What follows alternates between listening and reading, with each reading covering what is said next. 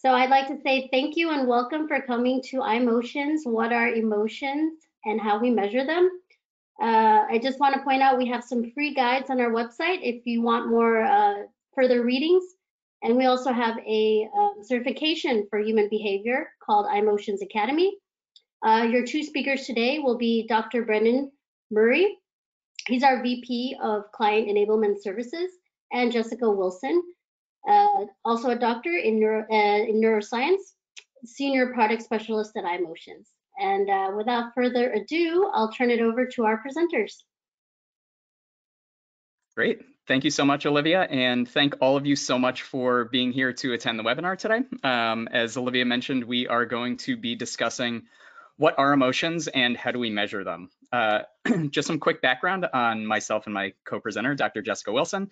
Uh, I am the Vice President of Enablement Services at iMotions. Uh, my background is I have a PhD in cognitive psychology, uh, and I've been working in the behavioral science research space for about 16 years at this point. Uh, Jessica, I'll let you go ahead and introduce yourself as well.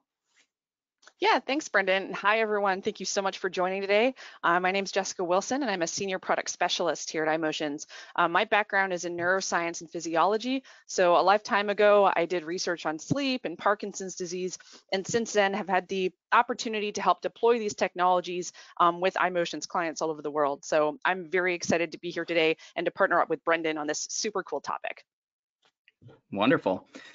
So as we jump in, uh, this is a topic that's very near and dear to my heart. Uh, back several years ago when I was still an academic, uh, my research specialization was in understanding the interaction between human emotion and how it influenced uh, memory, uh, so that specific set of cognitive processes we all uh, on this webinar probably have our own conception of what emotion is uh, or what we mean by the word emotion. For many of us, that probably calls to mind imagery, imagery of things like romantic comedies, uh, taking care of loved ones. As emotion researchers, we use uh, simultaneously both a much more specific and a much more broad definition of emotion at the same time uh, when we use that word. So the first thing that is helpful to understand is this concept that emotion is really everywhere around us. It's not just specific to some of those examples that I mentioned up front. For example, when we are interacting with another person, whether that is face to face, whether it's virtually as we're doing right now, we take in and we process a lot of information all at once. One of the things that we process very quickly and virtually automatically is an individual's facial expression. This is an evolutionary response that we have as a collectivist species that rely on one another for our survival and well-being. It's very important that we can quickly take a look at someone's face, try to make some kind of judgment about what they're thinking and feeling so that we can use that information to navigate our social interactions with them. And this is not just something that we do with humans. Uh, as many of you are probably aware, we tend to detect faces everywhere, and we also assign emotional value or emotional responses to those faces. It's very common that we'll take a look at our pet or we'll be uh, encountering animals somewhere and we might think something to ourselves like, oh, look at the cute, happy puppy. Or we see a car and we think to ourselves, oh, that car looks really angry or even if we're having engaging in a digital communication with somebody and they're sending us emoji, we start automatically and very, uh, very quickly and robustly assigning emotional value to those emoji that they send us. Uh, interpretations of things like, wow, they seem really surprised by whatever it is that I just said. And this is not just specific and unique to faces. We also do this uh, automatically with even very low level stimuli. So back in the day when I used to uh, teach college courses on emotion neuroscience, one of the examples that I would like to do, which Dr. Wilson, I'll ask you to be my guinea pig on this, uh, is to show folks a short video like the one that I'm about to show. This is called the Heider-Simmel uh, illusion. And what uh, what we'll do is I'm just going to play a short clip of the video. And Jessica, if you wouldn't mind just kind of narrating what it seems to you like is actually happening in this video, please. Okay. So the red guy is trying to exit the box. Uh, it's trapped though. Um, the blue guy and the pink guy, there looks like they're trying to help him get out. And blue guy is a lot more frantic about it. He's like moving around really quickly. Might be antagonizing the red guy. Looks like they might be fighting, and pink is hiding away. All right. So in the interest of time, I'll stop you there. That was that was great. Thank you so much for that. Uh, so you can do this uh, with really any number of different people, and you'll get lots of different stories about what these uh, different characters are doing, what their motivations are, uh, what they're trying to accomplish. Uh, some folks will think that the blue triangle and the pink circle are bullying the red triangle, or the red triangle is being aggressive to them and they're trying to escape. And you come up with these very rich emotional stories which at the end of the day make absolutely no sense whatsoever because these are literally three amorphous shapes just moving around on a screen. It's two triangles and a circle. They do not have any motivation. They don't have any intent. There are no goals that they're trying to accomplish. And yet this is a very, very natural process for us to start coming up with these stories to try to assign emotional value to what we're seeing. And as I mentioned before when we talked about faces, this is an evolutionary response. Our emotions can do things like help us rapidly detect threats. If we're out hiking and suddenly a snake pops out of nowhere, we have a very quick emotional response to that as part of our self-preservation instinct. Uh, we'll likely leave immediately, um, maybe even more immediately, depending on how afraid of snakes we are.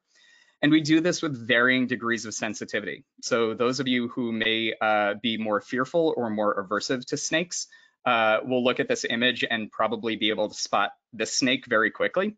Whereas others of you may have just noticed the leaves, you might have thought that that was a that that was a branch or part of the foliage. And sometimes we do this a bit too sensitively. Uh, so if there are any uh, if there are any folks who are watching, and I apologize in advance if you're very snake averse, um, but you might quickly look at this image and think that that piece of straw in the middle is also a snake. Um, so sometimes we can do this a bit too sensitively. Our emotions are the way that we assign labels of good and bad uh, to things in our world. Uh, we try a piece of cake and that cake makes us feel good and we like the way that it tastes. And so now we are motivated to have more of that cake both now and in the future. Conversely, there might be a piece of stinky cheese that we have an aversive reaction to and we feel like it's bad and we're going to avoid it and we're not going to want to eat foods that maybe uh, contain that type of cheese. But we can also change our labels of good and bad over time uh, based on the experiences that we have in our lives. So maybe over time we actually acquire a taste for that stinky cheese and then we start actively seeking it out and cooking with it.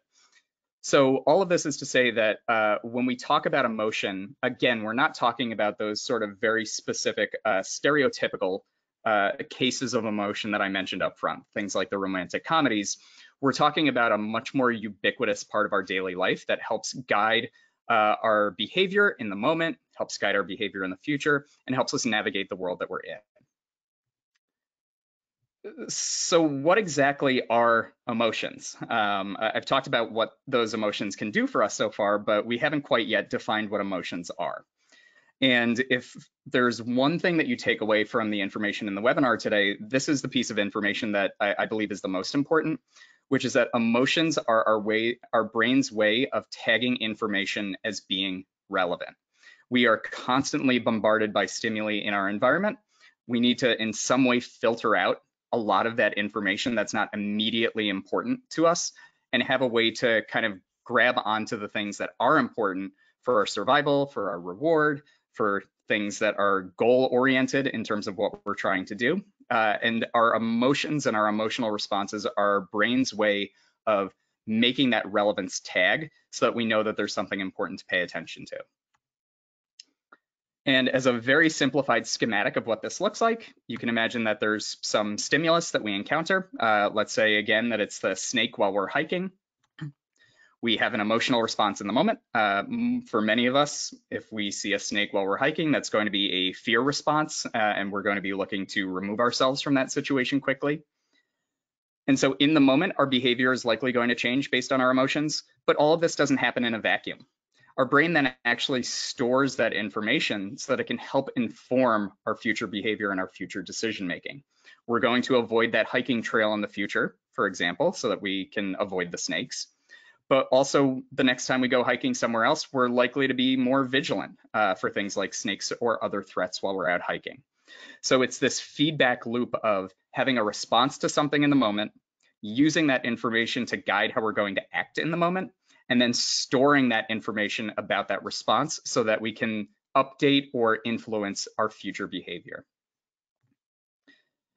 And these emotional responses that we have are measurable. Uh, this is these are not uh, this is not just a nebulous uh, amorphous term that doesn't really mean anything or refers to some concept that we can't put a finger on.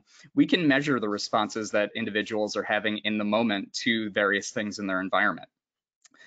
Many theories of emotion uh, that are generally accepted uh, tend to operationalize emotion in two dimensions. The first being uh, emotional arousal or the intensity of the response that we're having. Uh, you can imagine that depending on your degree of fearfulness for snakes, if you see a snake, you may have a very strong response to that or a very low level response. Uh, or if you're somebody who has a strong affinity for snakes, you can have a very intense response that is very positive as opposed to negative. And that's the second dimension of emotion that we typically think about, uh, emotional valence or the positivity or negativity that's associated with the state that we're in. And these Brendan, two dimensions up. Oh yeah, please, Jessica. I'm sorry to interrupt. Um, I have a question that uh, actually a lot of people have been asking. What is the difference between emotions and feelings? Because I think there's a lot of overlap between those uh, those concepts, but they are still a little bit different. Yeah, absolutely. So when we talk about emotions or emotional responses, we are typically talking about something that is right in a specific moment. It's the response or reaction that we have to a stimulus, to a person, to something that's in our environment. Uh, they tend to be very rapid, they tend to be very fleeting, and again, really serving that evolutionary purpose of helping us make a decision about what we're going to do right now. Uh, things like feelings or mood tend to be spread out uh, over a longer period of time. So you can think about watching a television show. Uh, you're watching your favorite comedy and that might put you in a good mood and a good state of feeling for the half hour that you're watching the episode. But throughout that episode, there are going to be specific moments that are particularly engaging or funny to you, uh, those jokes that really happen to land with you. Those will be the moments that you're having these emotional responses. So easiest way to think about the difference is that emotions tend to be a rapid in the moment response to something, whereas feelings, mood, uh, uh, other uh, uh, other similar terms to that, those tend to be more kind of states that we're in over a longer period of time. Thank you. Absolutely. So these two dimensions of emotion, uh, intensity and positivity and negativity, are, are generally thought of to operate relatively independently of one another. I gave the example of a snake before, where if you're someone who's very fearful of snakes, if you see one, you will have a high intensity response, which is also negative. If you're someone who has a strong affinity for snakes, uh, you may have a relatively high intensity but a positive response. And we can take those two combination or the combination of those two dimensions of emotion and we can think about them in this sort of uh, two by two display. Uh, this is in uh, emotion literature referred to as the affective circumplex, um, first introduced by Jim Russell uh, in the 1980s, with the idea being that any of these responses that we have contain some degree of intensity and some degree of positivity and negativity. And then by being able to understand those two dimensions, we can start to categorize different experiences, different things that we encounter as making us feel excited or sad or depressed or anxious or have uh, having an aversive response. And now, as an over, Brendan, oh yes, please. I have a quick question about the circumplex model. Um, I know this is a very popular way to conceptualize emotion, um, but is that sort of the, the de facto way that we can think about emotion, or are there other models in the literature um, out there right now? It's a really great question, and I'll try not to take us down too much of a rabbit hole here. Uh, so this is one of the prevailing and most popular theories of emotion, um, but it is one of several theories of emotion that exist. Um, this uh, circumplex model is uh, part of what is called psychological constructionism, which is the idea that uh, emotional responses that we have are constructed from these combinations of intensity and positivity, negativity. Uh, things like excitement or happiness or distress or anxiety, uh, those are not discrete sorts of states or feelings or uh, responses that we have, but rather those are just kind of convenient verbal labels that we assign to how we're feeling based on the intensity and the positivity of the response that we're having. Uh, the one of the other very popular theories of emotion is what's called basic emotion theory, And basic emotion theory does ascribe to the idea that emotions are discrete units, uh, that something like anger, for example, uh, has a discrete and preset and automatic set of processes that trigger in the brain to give rise to anger. In other words, in basic emotion theory, those basic emotions, anger, sadness, happiness, those are the smallest building blocks of how we feel at a particular moment in time. Whereas with uh, the circumplex model or psychological construction, uh, the idea is that those emotions of something like anger are not the smallest building blocks, but that the smaller building blocks are these dimensions of intensity and positivity, negativity. This is a debate that's been existing in emotion research literature for uh, literally decades at this point, uh, and there still continues to be disagreement over whether emotions are very discrete uh, and sort of innate and prepackaged, or if they are something that arise from these combinations of uh, intensity, intensity and positivity. Uh, much of the research that that uh, that I've done, uh, both in my academic career and in practice uh, in business consulting, have led me to have much more affinity for the circumplex model. to give an example of anger again, if we think of anger as just a discrete unit that kind of happens, for me, that doesn't really fit very well with the fact that uh, from one person to the next, anger can feel very different to two different people. Or even within ourselves, my feeling of anger in one instance can be very different from my feeling of anger in a different instance. Uh, if someone cuts me off on the highway, that feels very different from if I stub my toe when I'm walking around at night, if that makes sense.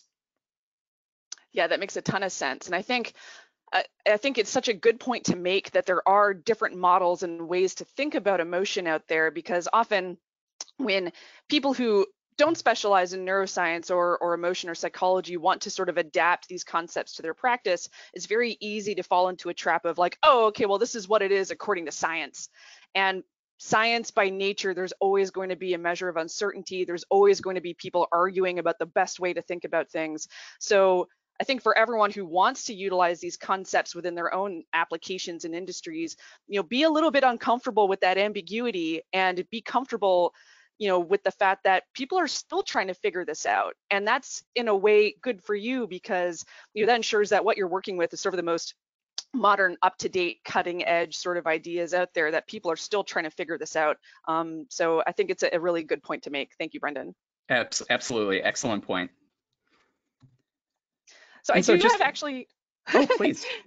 I do actually have one other question. Um, and this pertains more to your to your next slide. Uh, someone asked, is it possible to have multiple emotions at once? Um, and is there a way to have like a specific emotion that might eliminate another emotion? So basically, if you're thinking about those conceptual building blocks, how might they interact with together? Absolutely. It's a really good question, and I, I will pull up the next slide for that uh, because what I do on this slide is I do show some very simplified but discrete examples of uh, times that may make us feel specific emotions. Um, the question of whether or not we can feel two different emotions at once uh, is actually a very loaded question and also one that's still open. Um, for folks who are familiar with the term ambivalence, uh, that really, if you break that word down, means ambivalence. You're feeling multiple things at once or having multiple emotions at once. Where there is discrepancy or disagreement is the degree to which those emotions coexist with one another at the exact same time versus uh, having a state where we're actually rapidly switching back and forth between two different feelings. Uh, if we think about, for folks who are familiar with blackjack, for example, a casino card game where uh, all of the players at the table are playing against the house or the dealer, but each individual person's actions can influence whether other players at the table with them win or lose. And you can find yourself in a situation where it's right for you to make a certain play uh, in the game of blackjack that is best for you to maximize your winnings, but that actually comes at the expense of others. This is a great example of a time where you might feel mixed emotions or ambivalent or multiple different emotions at once where you're happy for yourself that you're winning uh, but you may also feel some feelings of guilt or sadness for for others around you. And it's it's not a currently settled question as to the degree to which those things overlap with one another versus your if you were able to really get in tune with yourself at the millisecond level is it that you're just going back and forth between multiple states very, very rapidly. So certainly there are times where we can feel mixed emotions or feel ambivalence. Um, the the examples that are on this slide are, are much simpler and more discrete than that, but it's certainly something that's that's possible. We can have multiple responses to something. It's just a question of the timing of when those responses happen.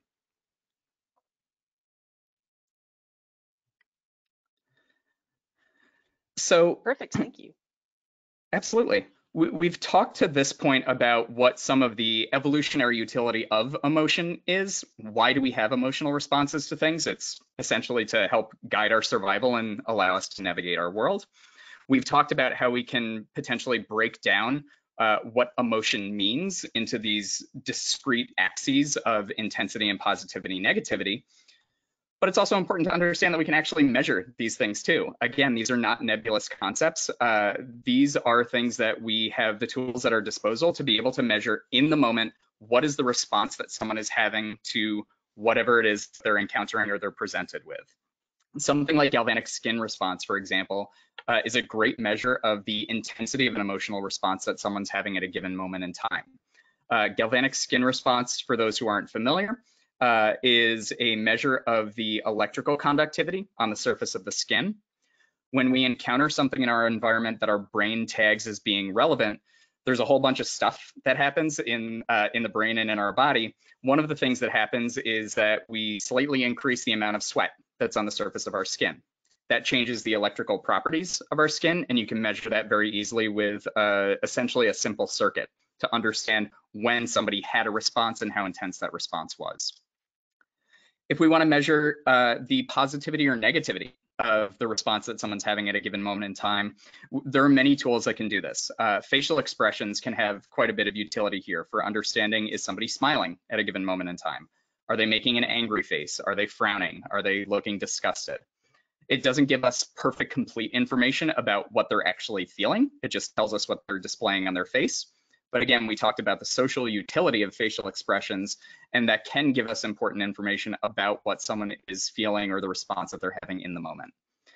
And of course, many measures of traditional self-report can help us get at that, uh, that dimension of positivity, negativity. Asking people, how much did you like X? Uh, how likely would you be to do A, B, or C again in the future? So these are measurable dimensions of emotion. And that becomes very important because once we can measure the emotional responses that people are having to things, we can actually use that to improve our research to be able to understand and answer the questions that we're looking to answer. Now, I think it's worth pointing out here um, that these are the most common tools for measuring valence and intensity, but there are many circumstances or use cases. Um, it depends a lot on context, both on the stimuli that you're using and also the physical setup. So for example, um, you know, we do a lot of work with virtual reality and it's very hard to get facial expressions when there's a giant headset in the way. Um, so maybe, Brendan, can you talk a little bit as to sort of the different use cases and how the tools you might use might differ in those circumstances? Yeah, absolutely. So something like facial expressivity, for example, as you would expect, you need full view of someone's face to know what facial expression they're currently displaying at the time. Uh, in a case like a virtual reality headset, as you mentioned, Jessica, most of your uh, most of a respondent's face or a person's face is going to be obscured by that headset, and so facial expression analysis may not work uh, may not work uh, in those cases. This can be a place where you could leverage asking questions via something like self-report depending on the question that you're trying to answer, you may also be able to use someone's behavior, uh, how they're acting or engaging with the virtual environment that uh, that they're currently immersed in, to be able to understand how good or bad they're feeling in a particular moment. Um, if they're going through uh, an an exercise like a reward-based game, for example, they gravitating more and more towards certain actions or certain parts of that game where they're experiencing increasing reward? Uh, that's something that we know is tied very closely to people's subjective feelings of how good or bad something was, is whether or not they felt rewarded.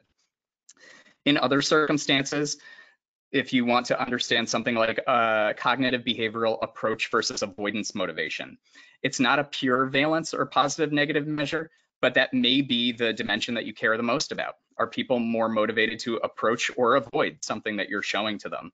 In which case, using EEG in a controlled lab-based environment may also be an appropriate measure to try to get at that uh, at that uh, axis of positivity negativity.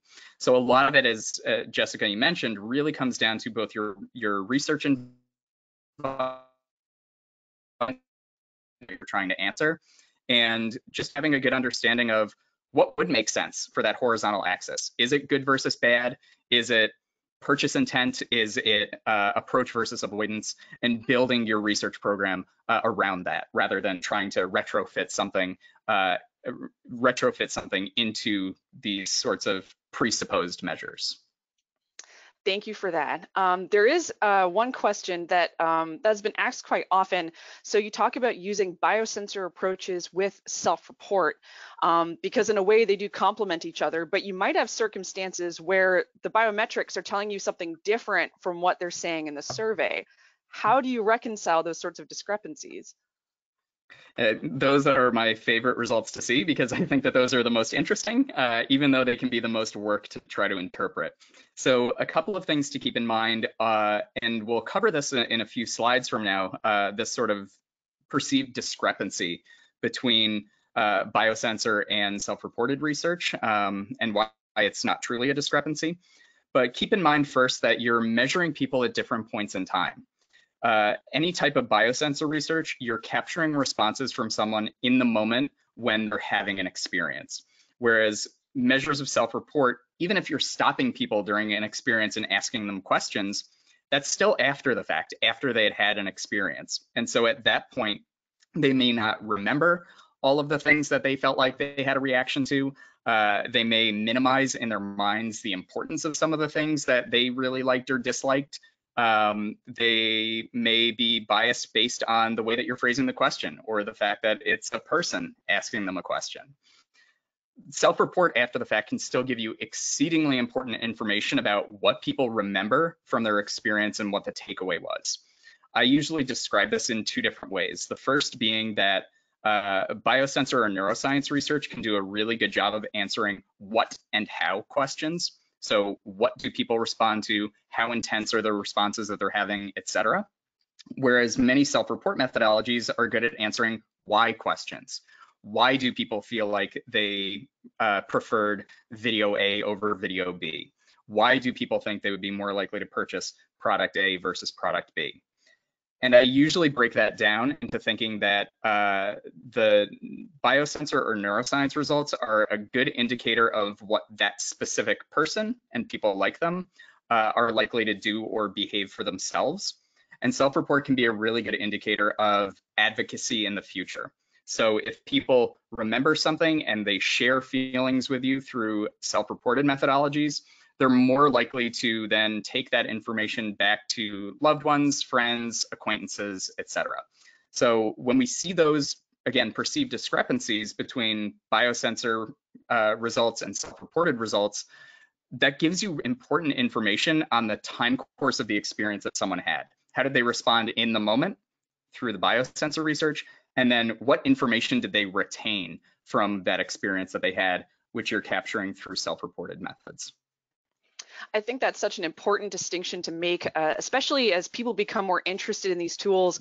Uh, another common trap to get into is to think that this is going to be the end all be all for explaining everything, where, whereas for each tool, there's definite restrictions um, to how you can think about and interpret, you know, the results that come from that, right? So I think, mm-hmm. you know, really developing that holistic view and using those multiple sensors, you know, really gives you that nice complementary approach to account for you know all of these different restrictions with like timeline and physiology versus the way we think about and want to communicate about things so i think this is a really great way to think about that yeah, absolutely. And, and, I think that leads nicely into the next section that we wanted to talk about in the webinar, which is what can we actually do with emotion measurement? Um, and exactly to your point, Jessica, uh, a lot of uh, a lot of research, particularly commercial-based uh, neuroscience or biosensor research that I see, presupposes uh, this syllogism that I have on the screen here, which is that people encounter something uh, and there's a set of biologically based processes or emotional responses that they have to that, as we've discussed before. We have the tools to measure those emotional responses. And if we can measure their emotional responses, then we can predict their future behavior. Um, that tends to be the end goal for a lot of folks is how do I predict what people are going to do in the future? The challenge with this line of thinking is that it doesn't take into account the fact that yes, we do have emotional responses to many different things in the moment, and those things will guide our future behavior as we talked about. But there's also a whole bunch of other stuff that influences the way that we're going to act at any given moment in time. Uh, the context that we're in, the people that we're with, uh, time of day, what we had for breakfast, um, and whether we've got an upset stomach from it or not. There are all of these different factors that we can't really measure. Um, and if we tried to, we would just be completely overfitting our research, um, or we would just have no way to, to possibly measure. So there are so many other things besides our in the moment responses that can influence our behavior that this is not the correct way uh, in most cases to think about the types of research that you're doing. It's not about measuring people to predict what they're going to do in the future. Instead, the model that I prefer kind of flips that around a little bit and is a bit more backward looking. So taking observed behavior, we know that for whatever our research practices, that there is some way that people behave in the world. And what we are trying to do is explain as best we can why they behaved the way that they did. What is it that was driving their behavior? And I typically think of this uh, from the frame of mind of uh, there's a lot of variability in how people act. So, uh, if we think about product purchases, some people are going to buy a specific product, other people are not going to buy that product at all of the people that buy that product, maybe they're going to buy a lot of it this week and none of it for the next three weeks. Maybe there are going to be some people that are going to buy it every single day. There's a lot of variability in whatever the behavior is that we care about. And what we are trying to do is explain as much of that variability as possible to understand why people are behaving the way that they do. And where this becomes really important to Jessica's point from both a research design and interpretation standpoint is that no tool is meant to be a perfect measure of understanding why people act the way that they do. Instead, we're just trying to take out chunks of uh, explanatory power so that we can get the best understanding possible of how people act. So let's take a product example. Um, maybe uh, I work for a company that is launching a new product and I want to know how it's being received by people. Well, some of the questions that I might uh, I might expect my consumers to be asking themselves when they see this new product is, did it motivate me to act in some way? Uh, do I see this product and it's I'm feeling motivated to approach it or to get it or to get more of it? Did it connect with me on an emotional level? Uh, did it elicit that relevance response that we talked about before? Is it memorable? Um, is it something again, as I said, uh, as I said before, that I'm likely to remember later, that maybe I'll advocate for to others about? And even did I notice whatever the product is to begin with? Um, perception is hugely important because if we don't actually perceive whatever the thing is that's being measured, we're not going to have a response to it. Uh, that's the way that perception works. Uh, did it make me smile? And then, of course, there are, to Jessica's point before, there are always going to be a whole host of unexplained factors that we can't control for, that we can never hope to measure all of them, which are also going to drive the way that people, that people behave and act. And the reason that I highlight uh, these specific questions is that these are ones that we have tools to measure.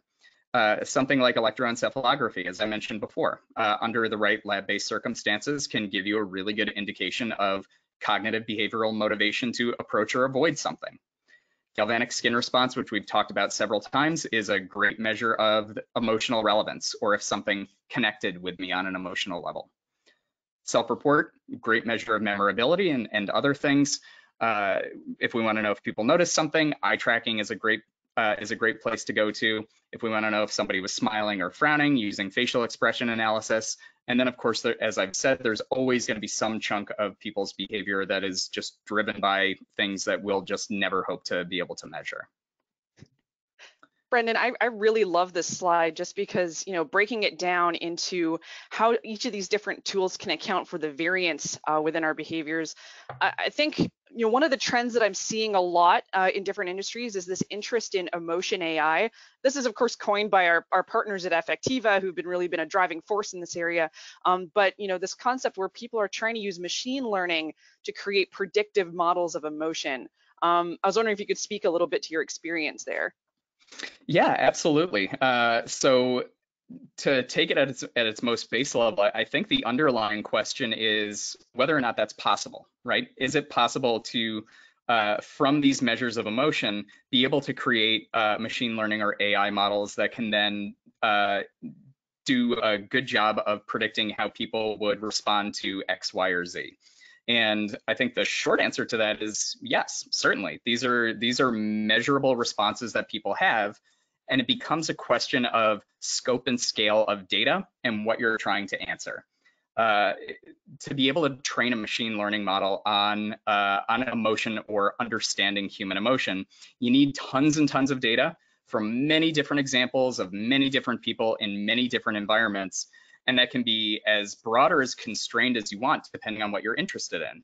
If you want to know uh, the degree to which people uh, feel really good when they wake up in the morning if they've got a certain color of light in their room versus uh, a, a, different color of light in their room. That's something that over time you could collect enough data from enough people. If you had enough access to those participants, uh, if you had the tools to be able to do that measurement and start to build a model of, okay, here's how people will most likely respond to different colors within that one specific environment. If you want to broaden that out to something like, how do people respond to color in general? That's a much much more broad uh, research question that again is not impossible but would be very very difficult to be able to get enough instances uh, um, uh, of those emotional responses from people to be able to train a reliable machine learning model. So certainly something that's possible uh, as the ubiquity of self-measurement uh, continues to increase in consumer devices that people uh, that people own, this will become easier and easier to gather those large data sets. Um, but right now, it's something that you know, Affectiva, for example, has the scope and the scale to do for what for what uh, for the things that they're interested in. Um, but it's hard to do without a lot of access to a lot of data. Yeah, I think I'm really excited to see where this sort of field goes because I mean we're seeing it in the market research space, we're seeing it in the automotive space, definitely in the academic space. There's so many different applications, healthcare for sure. Um, so yeah, I mean like Brendan said, there's some caveats about, you know, what kind of data are you going to be looking for? What are your specific metrics? I think that's so important, like really refine what your variables are and then, you know, find some way to find your ground truth to really validate those. But yeah, I think this is a super cool application uh, and Affectiva has been driving a lot of that. It'll be cool to see where this goes. Absolutely. So to to move on a bit, just being mindful of, of the time that we have here, uh, one of the questions that came up earlier was trying to understand this uh, perceived discrepancy between in the moment measures that you would get from neuroscience or biosensors uh, relative to what people can say after the fact from an experience. And typically this is operationalized as uh, some folks call it the can't say, won't say challenge, which is that if you ask people questions, there are lots of thoughts and feelings and responses that they can verbalize that they're willing to tell you in the moment. And then there are also thoughts, feelings, beliefs, etc., that they uh, that they're not willing or able to verbalize for you. Um, they may withhold information when you're asking them questions about a product because they might think that their answer or their feelings are taboo in some way, or they don't want to hurt your feelings, or they minimize their own opinion, the kind of oh, I'm not going to share that because it's probably stupid and nobody else feels that way sort of phenomenon.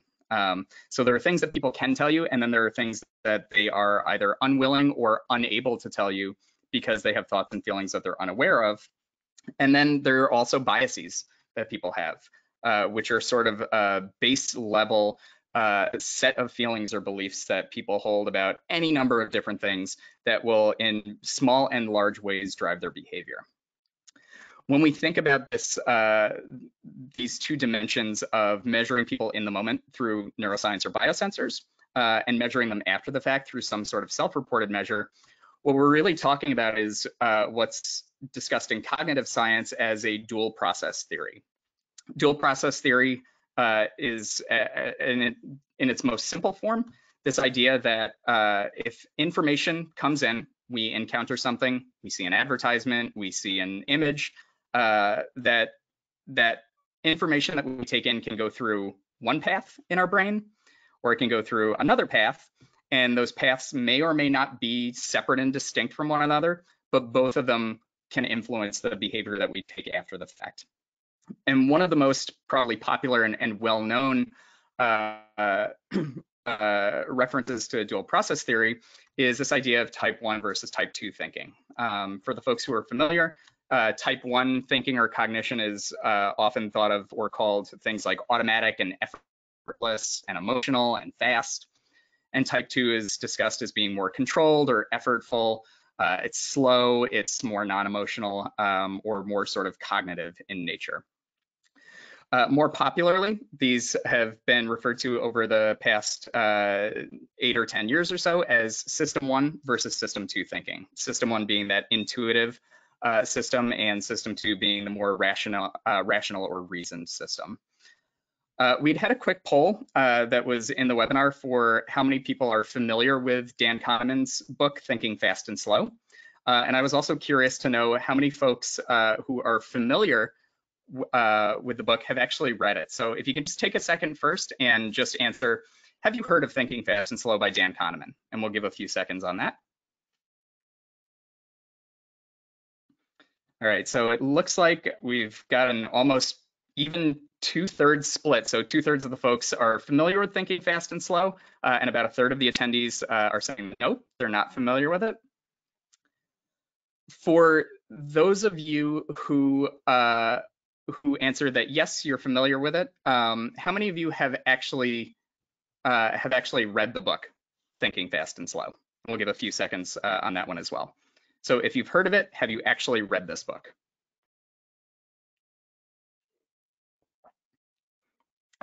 All right, and we're seeing uh, about the same. So about two thirds of folks have, have said that they have actually read Thinking Fast and Slow, and about a third are, are saying that they haven't at this point. So the reason that I ask that question is because I, I, when I do these presentations, I like to make a couple of what seem at first to be relatively um, controversial statements, uh, given the popularity of this system one versus system two distinction. The first being that system one and system two are fictitious characters. These are not systems that actually exist uh, within the brain. The second being that they're not even systems at all, um, that they're not entities that have interacting aspects or parts to them. And the really important one, there's no part of your brain that is the system one part of your brain. There's no part of your brain that's the system two part of your brain. Um, and so this system one versus system two is actually a really meaningless distinction. And the reason that I say that uh, that I say that these statements might sound controversial is Daniel Kahneman is a Nobel Prize winning uh, economist and behavioral scientist, uh, and I myself am not. Um, but these are not my thoughts or opinions. These are actually things that Dan Kahneman himself says at the very beginning of the book, uh, on one of the first pages. These are the statements that he makes is, look, these are not actually systems that exist. Uh, I'm writing a book here. I'm trying to get across a complex cognitive principle um, I need to have characters for my book, but this is not actually how the brain works. The reason I like to bring this up is that this tends to get glossed over quite frequently when people are thinking about how they approach their research. Uh, I see this very frequently, um, even today, where folks are concerned about whether or not their research is geared at measuring system one versus system two. And the challenge with that is that it's a relatively meaningless distinction about whether you're measuring system one or system two because those systems don't exist. It's all kind of one flow of cognitive process. And so the model that I tend to try to push people more towards to update their thinking and change the way that they're potentially designing their research is more of a process flow. So starting with context, which I mentioned earlier. Context is very important for understanding how people are going to respond and behave to any number of stimuli. Um, uh, this is context is frequently self-selected by people. We decide what situations to put ourselves in. and then once we know what the context is that people are in, uh, we want to measure perception. So whatever it is that we care about measuring people's responses to, we first need to know, did they actually perceive it? Um, did they see it? Did they hear whatever it is that we're, that we're interested in measuring? After that perception occurs, then there is a process uh, which is referred to as cognitive appraisal. This is pretty rapid and automatic. It's a cascade of implicit, explicit, automatic responses, seeing the snake while you're out hiking and having that either fear-based response or again, if you're someone who really likes snakes, maybe you're excited to, to see the snake, but all that happens very, very quickly to help inform and guide how we're going to act right in that moment. And then the last step is one that's relatively uniquely human, which is emotion regulation or self-regulation. Uh, we are not totally beholden to whatever that initial appraisal response is that we have. Uh, we can update that response. We can amplify it in situations that call for it, uh, or we can suppress it or reframe it and actually change the way that we're thinking about the situation that we're in. And I like this process flow because it highlights the fact that all of these steps feed back into one another. Um, so the appraisal that we have of something, that in the moment emotional response, that automatic response that happens when we encounter something can actually influence our perception. If we have an emotional response to something, we're actually more likely to see more of that in our environment over a short period of time afterwards. Our appraisal can also influence our context. If we start to learn over time that one particular hiking trail is not a great hiking trail for us, we'll start to update the context that we're self-selecting for ourselves. And that in turn is then going to affect what we perceive in our new environment, how we're responding to those things in our new environment. And our regulation can also affect all of these steps. Our emotion regulation or self-regulation can influence the future appraisal responses that we have, our regulation can influence our perception, and it can also have an influence on the context that we put ourselves in. And the reason that I like this is because it nicely packages how we can measure each of these different steps to get the best understanding of human behavior. So context, we can measure through observed behavior, just seeing what people are doing and where they're going. Perception can be measured through something like eye tracking, for example, if we're interested in visual or physical things to know if people notice them or not. Those appraisal responses we can measure through galvanic skin response, electroencephalography, facial expressions, etc. And all of those tools can also be used to measure those self-regulation processes, but this is also an important step where self-report comes in as well, because our self-regulation is going to heavily influence what we have to say about an experience, about an object, whatever else after we encounter it.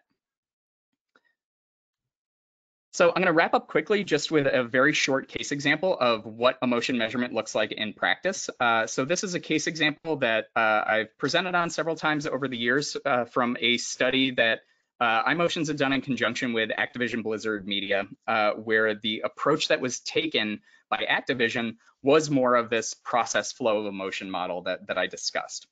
Uh, Activision, for those who aren't familiar, is a major global gaming company. And the specific team that we were working with wanted to understand advertising within mobile games and specifically what is the impact of tying some kind of reward to an advertising experience while people are playing a mobile game. So for example, you're playing Candy Crush, uh, you encounter an ad in the middle of your Candy Crush experience. How is it different if you are actually given a reward for watching that ad? Something like you get to skip a level, you get an extra life uh, versus an experience in another game or in social media or on some other digital platform where there's no inherent reward that's tied to watching the advertisement. Uh, so Activision's hypothesis, is, as you would expect, was that reward-based advertising would be more likely to get attention and reduce ad aversion um, from users, um, and might be less likely to detract from just the overall emotional experience of playing the game. Uh, they tested folks on a variety of different platforms, um, some with reward-based uh, gaming ads and other platforms where there was no reward that was tied to the advertising. Um, and what they found was that first, if we think about perception, those premium or reward-based ads were viewed for longer than non-reward based ads. Um, and we know that uh, all of us are pretty advertising averse. So to be able to create an environment where people are more likely to watch ads for more than twice as long when there's some reward that's tied to them versus not is really impactful and powerful. In terms of the emotional response to both the ads themselves and to the platform that people were experiencing the ads on, what we saw was that individuals who received reward-based advertising uh, were more likely to, in the moment, experience uh, positive and more intense um, uh, emotions than folks who were not receiving reward-based ads. And also the experience of the platform itself So physically playing the game, physically using the social media feed, that was also more emotionally evocative for folks when the ads had some kind of inherent reward tied to them. And then in terms of self-regulation, what you might expect is that uh, because people are watching ads for longer, they may after the fact perceive that ad experience as having been more intrusive because after all, they've spent a greater percentage of their experience time watching advertising than people who didn't get reward-based ads. Uh, but we actually saw the opposite after the fact where people said when were asked how intrusive was the ad experience, if they received reward-based ads, uh, they were uh, much less likely to indicate that they felt that the ads were intrusive relative to the folks who did not re receive reward-based ads. And this was really, really impactful for uh, Activision's uh, ad strategy because you have created an environment where people are having a more enjoyable experience, they're watching advertising for longer, and their perception after the fact is that the ad experience was less intrusive for them uh, when there was some kind of reward tied to that advertisement. So I'll wrap up here with just a quick little plug. Uh, obviously, uh, we who are presenting today, uh, we all work at iMotions, which is a software company that provides a software platform to allow you to be able to take the different types of measures that we've talked about today. Um, we have a quick poll that's up right now about uh, ways in which uh, you would like for us to get in contact with you if you're interested in learning more about how you can utilize the iMotion software platform to either bring biosensors into the research that you're thinking about doing, uh, if there are opportunities to consider other biosensors besides ones or in addition to ones that you may currently be using. And then we also have a suite of uh, support services. Um, we're resellers of the hardware um, to be able to get you doing the best research that you possibly can. So thank all of you so much for your time. I really appreciate everybody being here. Uh, and Olivia, I'll turn it back over to you to wrap us up a bit. Okay, I'll just give a couple more seconds for people to vote. Um, thank you guys for attending. Just so you know, we do have handouts. Uh, if you look on the right corner of your screen, there's a little paper icon. There's some handouts for you to download. And of course, uh, we have free uh, guides on our website, imotions.com slash guides, uh, where there's other um, biosensor data and also research and also how to write grants, for example, if you uh, for the academics out there. A lot of great um, free resources uh, in our knowledge library. Great, we're getting a lot of votes in. Thank you very much. I'm going to close the poll soon. And we're going to be taking just one or two more questions. And whatever questions we don't get to, please feel free to email us at marketing at imotions.com. There are actually a ton of questions, which is very exciting. Yeah, um, let me lead off with uh, one of this. Uh, is negative emotion weighted heavier than positive emotion during an analysis of a task? Hmm. Brendan, I think you're muted. Sorry, can you hear me now? Yes.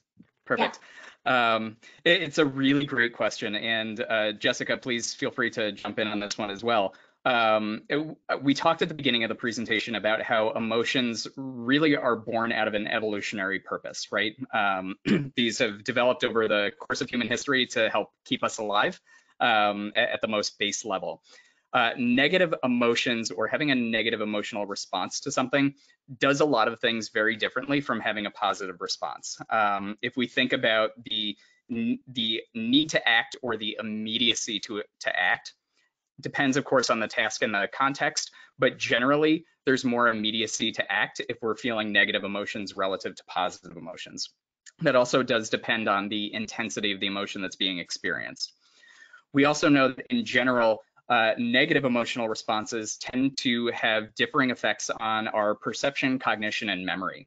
So if there's something negative that's in our environment, you may be familiar with the weapon focus effect. Uh, we tend to focus on whatever the negative thing is at the expense of information around it or in the periphery. Whereas positive information, um, probably a, a less well-known term than weapon focus effect, but with positive emotions, you might hear the term broaden and build meaning that when we're experiencing something as being positive, we tend to sort of uh, open our cognition a little bit more to the other things that are in the environment. And again, both of those you can think of from an evolutionary perspective. If there's a threat in our environment, it's really critical that we devote our cognitive resources to focusing on that thing so that we can preserve ourselves and our survival. Whereas if there's something that's positive in our environment, we want to take in as much information as possible about it uh, and about the environment and the context so that we can later seek out similar rewards later. Um, so that also kind of speaks to the immediacy that I mentioned before as well. Okay, I think we have time for one more question. Uh, someone would like uh, you to explain about primary and secondary cross-cultural emotion. Yeah, that's a really good question. Um, so we know that for uh, for many types of emotion measurement, whether it's using neuroscience and biosensors, whether it's using self-report, that there are cultural differences in terms of the responses that people have and what it is that they're responding to the way that I usually think about it is that uh, something like galvanic skin response, for example, is universal. Uh, it doesn't matter. Uh, doesn't matter culture, doesn't matter uh, biological sex, uh, any of those factors that you can think of. If somebody has an elevated galvanic skin response, that indicates that there is something that is relevant that their brain is identifying for them. Where cultural differences or other group differences come in is in terms of what it is that people have that response to. That can differ greatly across cultures, across age, uh, across sex, uh, any of those individual difference factors that you can think of. Um, so the responses themselves generally mean the same things regardless of who the people are, uh, but it's what you're having that response to that can vary quite a bit depending on what the groups are that you're looking at. Great. I hope uh, that was all the questions we could answer. Of course, we're still available at marketing at imotions.com if you have any further questions. Thank you so much for joining us. Uh, everybody stay safe. Uh, well wishes from Copenhagen, Boston, and Chicago. Bye, everyone. Thanks Thank for you, coming. Bye, everyone.